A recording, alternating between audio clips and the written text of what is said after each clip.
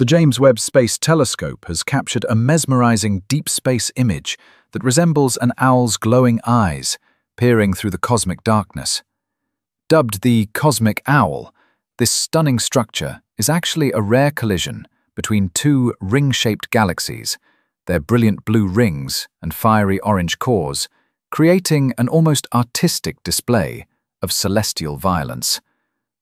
The merger occurred 38 million years ago, but its light has only now reached us, offering astronomers a unique glimpse into the dynamic processes that shape galaxies.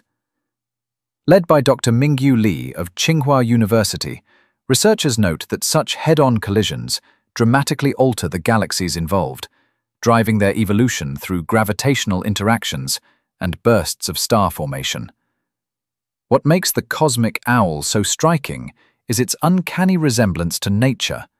The two galaxies align perfectly to mimic the piercing gaze of an owl, with surrounding gas and dust forming what looks like feathers.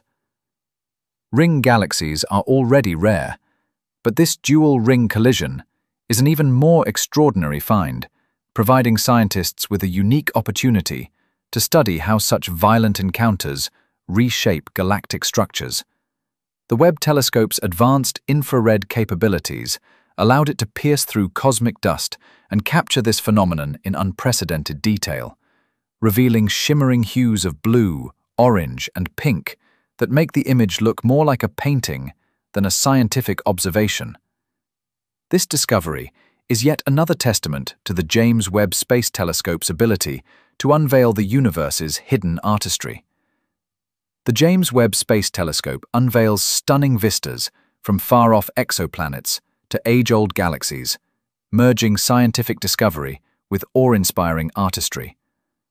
The cosmic owl, with its striking symmetry and vivid hues, stands as a testament to the universe's boundless marvels, each celestial wonder whispering tales of birth, chaos, and the eternal ballet of stars and galaxies through the vast expanse of time.